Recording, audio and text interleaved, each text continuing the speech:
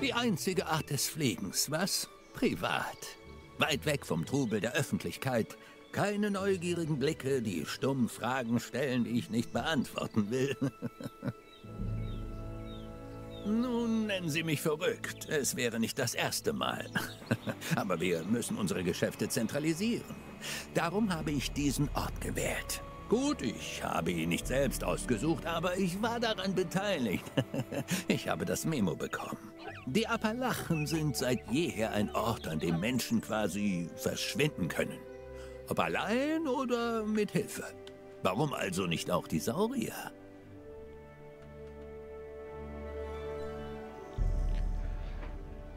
hallo Freunde und herzlich willkommen zurück. Ziehen, ein paar Leute schmieren, ein paar Arme verdrehen und zack, schon hat die Naturschutzbehörde eine neue Operationsbasis. Wir müssen uns beeilen, wenn wir diesen Ort auf etwas vorbereiten wollen. Mit so, tun wir mal aufhalten. Hallo und herzlich willkommen zurück zu Jurassic World Evolution 2 zur Kampagne. Ja, wir sind jetzt bei dem dritten Teil der ersten Kampagne und sind jetzt, wie scheint, im, in, an, in der Zentrale angekommen. Und ich bin mal gespannt, was heute auf uns zukommt. Also lassen wir mal Cape Bird Finch weiterreden dem er seit 65 Millionen Jahren nichts mehr zu tun hatte. Wait. Das Grundgerüst ist fertig. Aber bevor die mit Fleisch und Blut besudelten ankommen, muss alles funktionieren. Owen und Claire sind vor Ort und haben mehr Infos für sie. Dr. Dua koordiniert ihre Aktivitäten. Und ich, ich werde die Erwartungshaltungen verwalten und eine Armlänge Abstand von den Fleischosauriern einhalten. Moment, Armlänge ist vielleicht etwas zu kurz gedacht. Wir brauchen hier eventuell noch etwas Hilfe. Mr. Lambert? Ich bin einsatzbereit. Sagen Sie, wann es losgeht. George Lambert ist ein erfahrener Ranger. Er hat mit uns auf den Inseln gearbeitet und ist nun bei der Naturschutzbehörde. Er und Owen übernehmen die Saurier und wir die Anlagen. Demnächst bekommen wir eine ganze Reihe bereits gefangener Tiere rein. Verzögerungen sind inakzeptabel. Verstanden. Oh Wir beginnen mit dem Bau von weiteren Gehegen. Wir fangen sie, du packst sie ein. So, erstes Gehege fertig. Da kommen sie aber früh mit, dass sie neu, ein neues Gehege bauen wollen. Aber kein Problem, kriegen wir schon alles hin.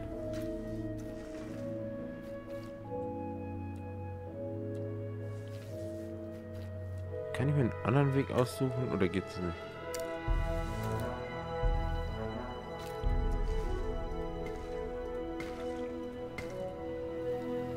Das äh, machen wir jetzt hier.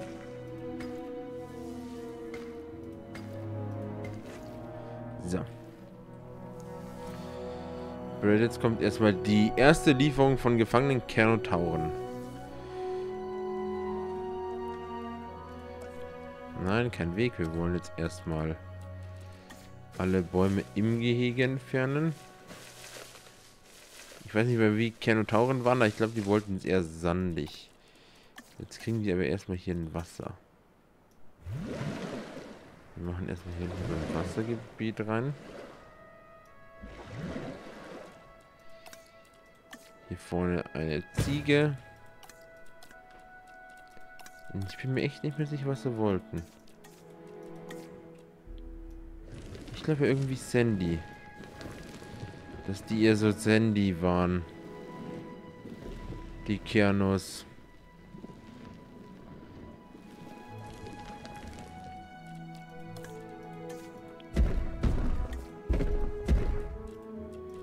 Paar Steine können ja nie schaden, ne?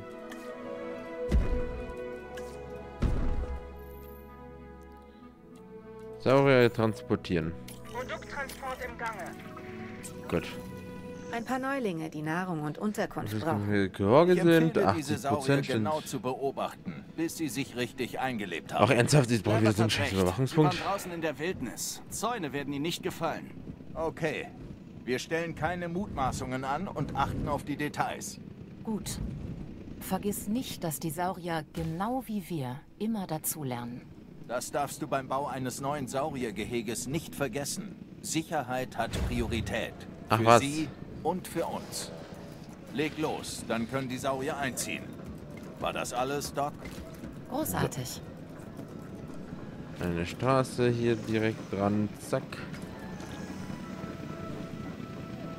Äh, wo ist Aufgabe hinzufügen? Bitte. Einmal anschauen. Ich weiß nicht,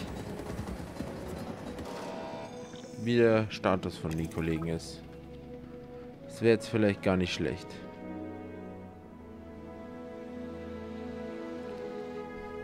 Ich muss sagen, das Spiel schaut wahnsinnig gut aus. Ich habe jetzt noch ein anderes Spiel, auch ähm, Dino Zoo mäßig. Das müsste man sich auch mal anschauen.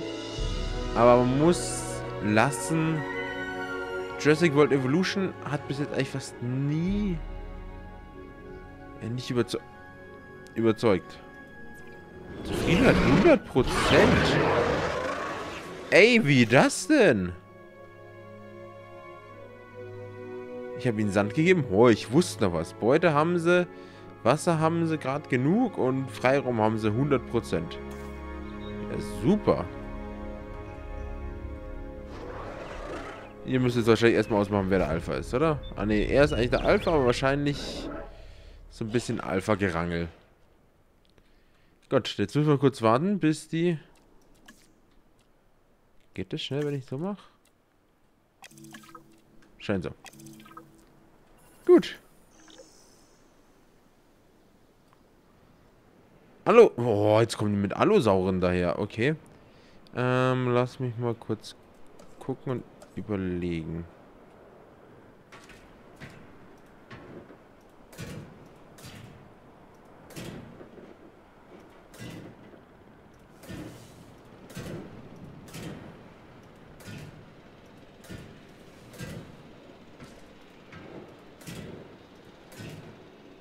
Ich hoffe, ich verspiele mir hier nicht was. Das könnte nicht das nächste Problem werden. Ähm. Wir bauen einfach jede Ding jetzt mal mit Aussichtsplattform.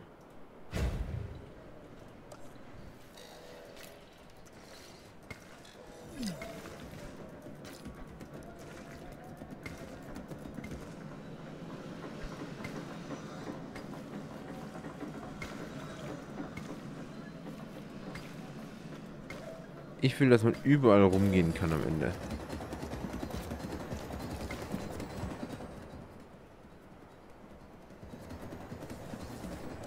Strom?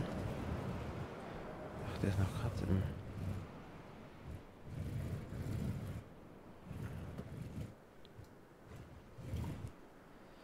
im... Äh, muss ich jetzt irgendwie schauen, dass ich hier das hinkriege, noch einen Stromversorger am Ende. Äh, warte mal. X und Ding drin.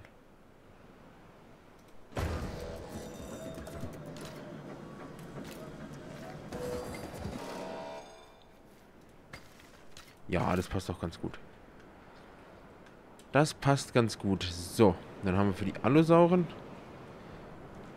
Da bin ich mir auch wieder nicht ganz sicher.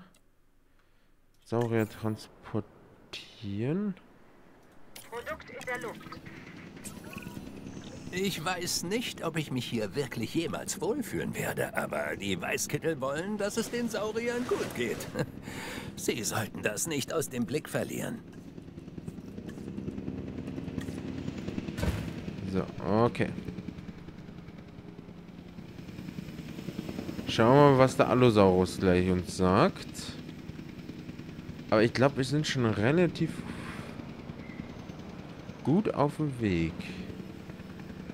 Ah, hier sieht man schon, wenn irgendwann anfängt, die Textur, die Voxel nicht mehr herzustellen. Ähm, wir brauchen bitte einen... Ich müsste die Hotkeys wieder wissen, ne? Aufgaben hinzufügen. Halt die Klappe. Du kleiner Allosaurus. Wir holen uns natürlich erstmal die gefährlichsten Viecher überhaupt. Allosaurus, Kernotaurus, jetzt kommt wahrscheinlich gleich noch der T-Rex. Ich wäre ja Galli, aber okay wenn man es aus der Perspektive sieht, wie es oder was der Sinn hinter dem den Ganzen ist, würde man natürlich nicht unbedingt die friedlichen Tiere einsperren, weil die für in dem Fall die freie äh, Dino-Welt für uns ja keine Gefahr darstellt, wirklich. Ah, schau mal, er schleicht sich an.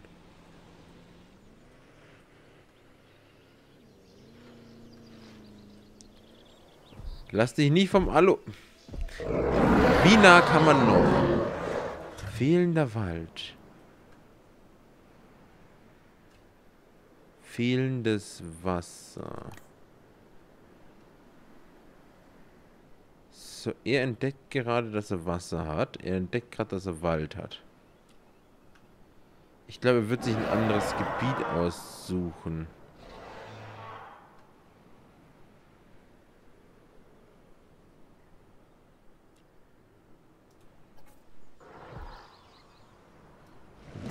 Hier noch den Seemittel erweitern. Ah, das schaut mal gut aus. 7% Wasser haben wir aktuell. Freiraum 99%. Das ist eine gute Ding. Der Wald ist gut dabei. Jetzt ist der Freiraum, Freiraum auch größer und das Wasser ist noch ein bisschen gestiegen. Essen. Ja, sind wir wieder gut dabei. Das geht flott. Ich sag's euch. Das wird wieder eine easy Mission. Ich bin mir auch nicht sicher, ob die Story eher in dem Fall mehr äh, gedacht ist als Tutorial quasi. Könnte natürlich auch gut sein, dass es eher so ein Tutorial-Ding ist. Hoppala. Aber für mich ist eine Story eine Story. sich an ihre neue Umgebung zu gewöhnen. Aber ich möchte sicherstellen, dass sie nicht einfach nur überleben, sondern auch wachsen und gedeihen. Du verstehst sicher, dass unsere Forschung noch wertvoller ist, wenn wir hervorragende Exemplare unter optimalen Bedingungen haben. Deshalb möchte ich, dass du ein Wissenschaftszentrum baust und in Betrieb nimmst. Okay, Dafür brauchen okay. wir mehr Wissenschaftler, also bau besser auch ein Stabzentrum. In der Wissenschaft geht es um die Daten, die wir sammeln und analysieren. Müll rein, Müll raus. Das wollen wir vermeiden. Besonders wenn man die Investitionen bedenkt, die bereits in diese Saurier getätigt wurden. Die so, CIA will Ergebnisse. Physischen. Und die werden wir besorgen. Ende der Diskussion. Medizinanlage. Und was wollen es noch? Ein Personalzentrum.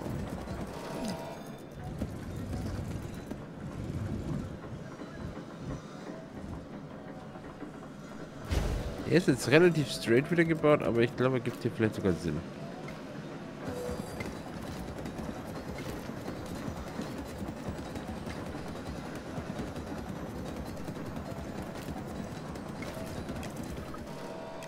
Stromgenerator.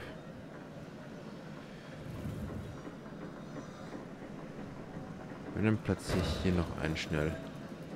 Dann kann ich hier noch ein bisschen was abdecken, je nachdem wie ich baue. Gut, erledigt. Nächstes. Oh, ein betriebsbereites Expeditionszentrum. Wir könnten echt ein Expeditionszentrum gebrauchen. Leg mit dem Bau gleich los.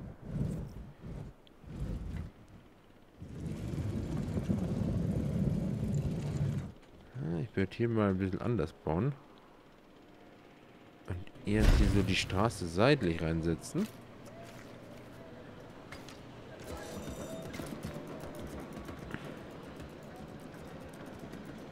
Das ist wahrscheinlich so nicht verschwendet. Also in echt würdest du es wahrscheinlich nicht machen, weil die Straße so unnötig ist. Es schaut cooler aus. Obwohl, wenn es cooler ausschauen soll. Sind es jetzt eigentlich Besuch oder was seid ihr? Ihr habt alle dasselbe T-Shirt an. Ich glaube nicht, dass ihr Besucher seid. Okay. Okay. Dr. Dua und Finch bekommen wahrscheinlich Druck von oben. So. Sie wollen, dass noch mehr Tiere eingefangen werden. Weise der Überprüfe die Expeditionskarte und sende ein Fernfangteam aus. Ich werde sehen, was ich tun kann.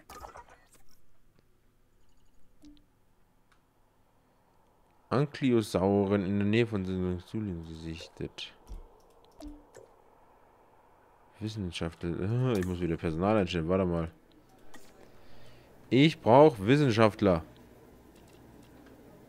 Wissenschaftler. Gibt's mehr Wissenschaftler? Dich rekrutieren wir. Du bist herzlich willkommen im Team.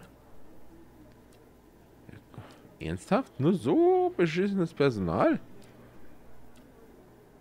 Heide Witzka. Ihn nehmen wir noch dazu. Jetzt hat Hier bitte.